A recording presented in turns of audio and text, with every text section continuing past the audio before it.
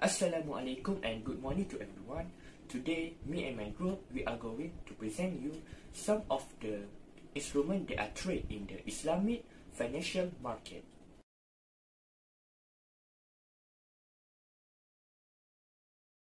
So, today we are going to talk about three instruments which is number one, government investment issue and number two, Mudarabah interbank investment and number three, Wadiah interbank investment.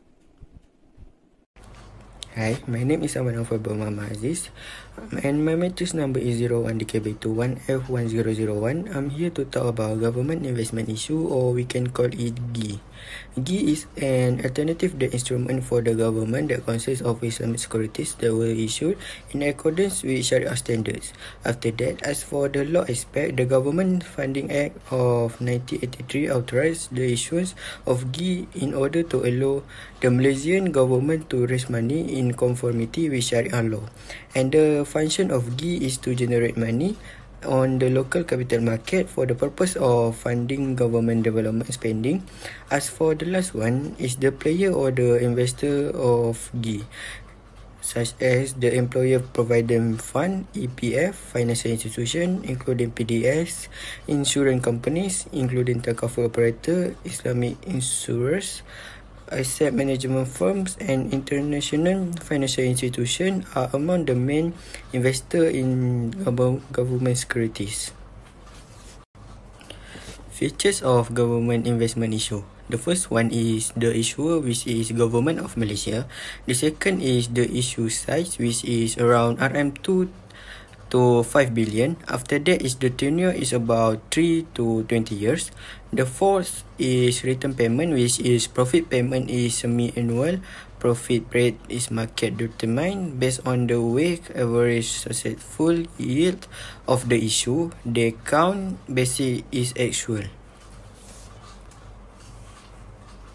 For another features of the government investment issue is the method of the sale in the primary market.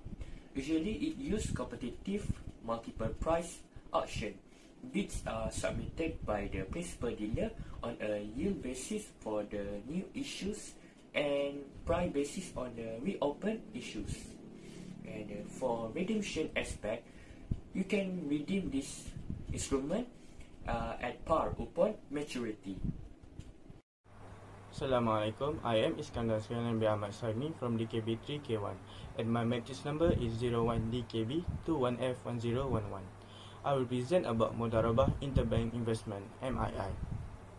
Mudarabah Interbank Investment is a wholesale money market transaction designed as liquidity management instrument in the Islamic money market. Mudarabah Interbank Investment has some limitation which are written is only determined on the maturity date fixed maturity period, no risk profile, and the principal is not guaranteed.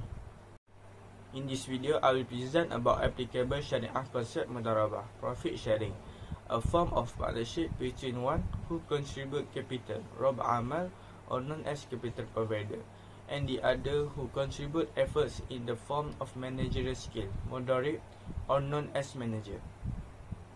Next, profit from the outcome of the partnership is shared between the capital provider and manager according to mutual agreed profit sharing ratio while losses are borne solely by the capital provider.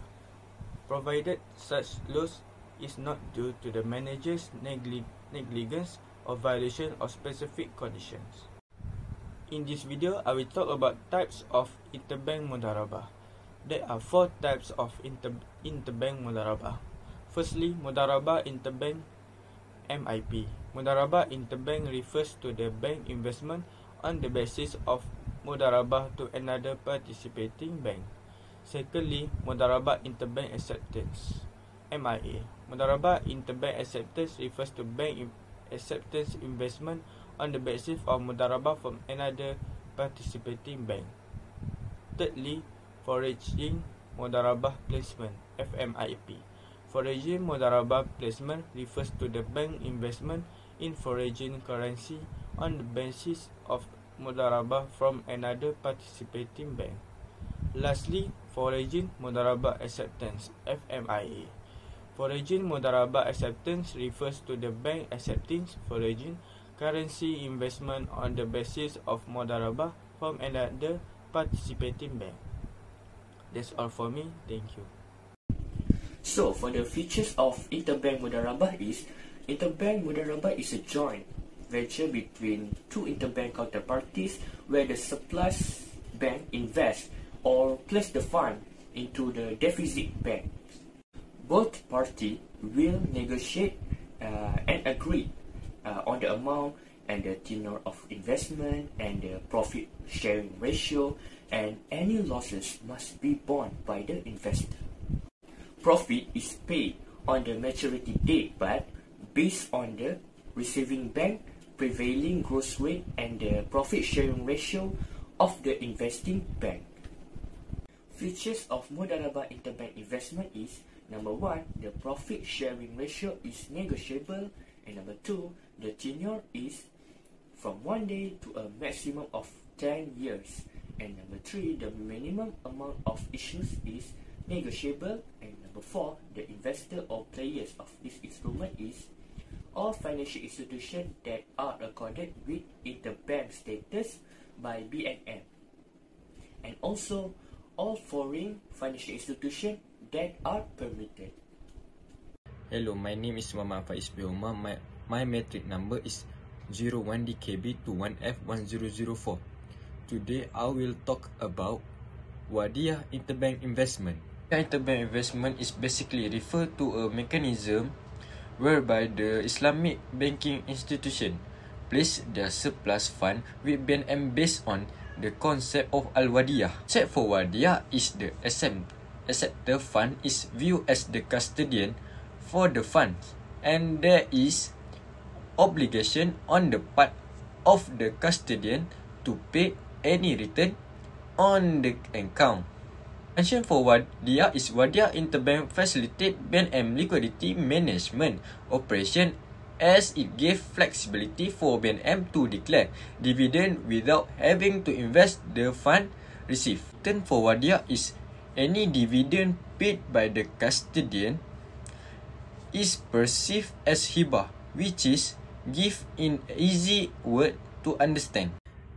There are two type of wadiah. The first one is wadiah yat amanah and the second one is wadiah yat damana. Wadiah yat amanah is involves safe custody of deposit based on trust. The custodian of property maintains safekeeping of the fund with due diligence without receiving any profits.